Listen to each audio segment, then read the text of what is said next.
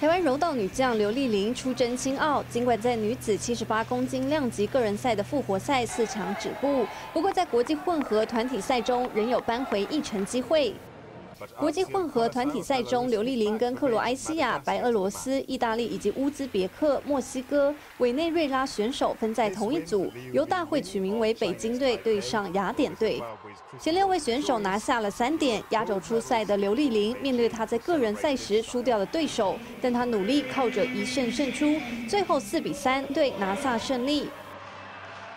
国际混合团体赛分组方式，选手到了会场才会知道如何分组，目的是为了让青年选手互相交流，打破国籍界限。各队实力分配平均，刘丽玲靠着自己的求胜心拿下制胜一点夺得金牌，而这也是台湾选手在青奥的第一面金牌。